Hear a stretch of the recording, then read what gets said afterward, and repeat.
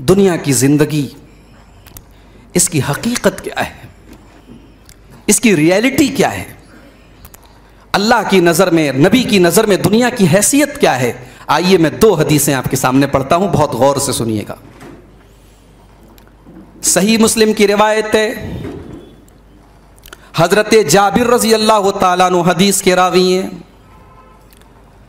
फरमाते हैं कि अल्लाह के प्यारे नबी सल्लल्लाहु अलैहि वसल्लम सहाबा के साथ जा रहे हैं। रास्ते में एक मरा हुआ बकरी का बच्चा पड़ा है। नबी अकरम सल्लल्लाहु अलैहि वसल्लम अपने सहाबा को समझाने के लिए उस बकरी के बच्चे के कान को पकड़ते हैं और अपने सहाबा से कहते हैं कि अयुकुम युहिबून लहू बेदिरहमिन। ऐ मेरे सहाबा, ये मरा हुआ बकरी का बच्चा है, क्या तुम में से कोई इसको एक दिरहम में खरीदेगा? साहबा ने कहा अल्लाह के रसूल, एक तो ये मरा हुआ बकरी का बच्चा है, किसी काम का नहीं है, और इस पर हम एक एक दिरहम में इसको खरीदें? ये पॉसिबल नहीं है, ये मुमकिन नहीं है।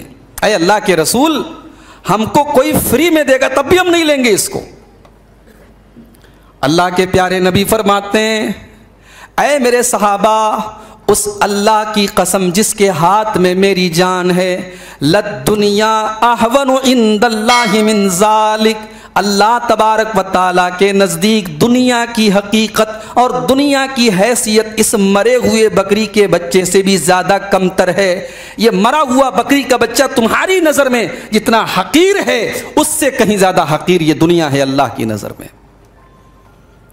मेरे भाइयों, जिस दुनिया के लिए आज हम एक दूसरे का गला काट देते हैं, जिस दुनिया की दौलत के लिए भाई भाई से नाराज़ है, बेटा बाप से बात नहीं कर रहा है, माँ बेटे में अनबन है, रिश्तेदारों में झगड़े चल रहे हैं, और जिस दुनिया को कमाने और बनाने के लिए हमने ईमान का सौदा कर लिया, हमने इस्लाम का सौदा कर लिया, हमने ज़मीर का सौदा कर लिया, ये दुनिया अल्लाह की नज़र में उस मरे हुए बकरी के बच्चे के बराबर भी इसकी वैल्यू नहीं है, इसकी औकात नहीं है। एक और हदीस अपने सामने रखिए यह भी सही मुस्लिम की हदीस है।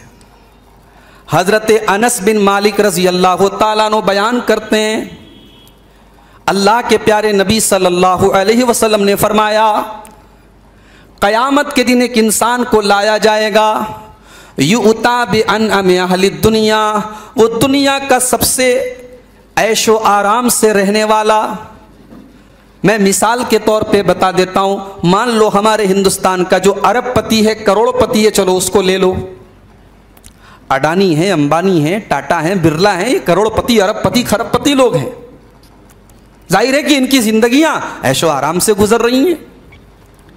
अल्लाह के प्यारे नबी फरमाते हैं कि ऐसा इंसान लाया जाएगा जो दुनिया में सबसे ज़्यादा आराम से रहता था। ज़िंदगी में कोई प्रॉब्लम नहीं थी, कोई टेंशन नहीं थी। मिन आहलिन्नार लेकिन वो जहन्नमी था, उसको लाया जाएगा। फयुसबग सबगतन फिन्नार। अल्लाह तबारक वाली उसको थोड़ी देर के लिए जहन्नम में डालेगा, जिसने दुनिया में कभी तकलीफ़ नहीं देखी थी, जिसने दुनिया में कभी परेशानी नहीं देखी थी, सारी ज़िंदगी ऐशो आराम देखा था, उसको अल्लाह ताला एक पल के लिए जहन्नम में डालेगा।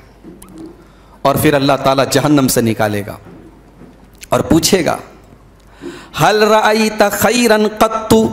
हल मर्रा बिका नमतुन कत्तु?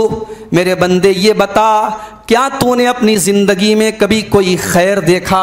कभी कोई भलाई देखी? क्या तेरी ज़िंदगी में कभी चैन और सुकून था, आराम था? बंदा कहेगा मार आई तो खैरन कत्तु आय अल्लाह, मैंने पूरी ज़िंदगी में कभी कोई आराम नहीं देखा। सारी ज़िंदगी मेरी तकलीफ़ों में गुजरी, परेशानियों में गुजरी। आय अल्लाह, मैंने ज़िंदगी में कभी कोई सुख नहीं देखा, कोई आराम नहीं देखा।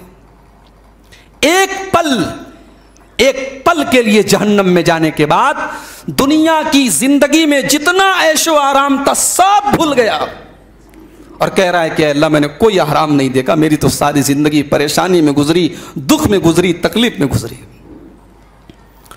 उसके बाद अल्लाह के प्यारे नबी फरमाते हैं, एक दूसरा आदमी लाया जाएगा, अशद्दिन नासी बूसन फिद दुनिया जो दुनिया में सबसे ज़्यादा तकलीफ़ में रहता था, न खाने को खाना है, न रहने को मकान है। बच्चे भी चैन से नहीं, बीवी भी चैन से नहीं, कारोबार भी नहीं चल रहा है घर बार भी बेचैनी और बेसुकूनी में गुजर रहा है। दुनिया की सारी परेशानियाँ जिसने झेली हैं, उस आदमी को लाया जाएगा।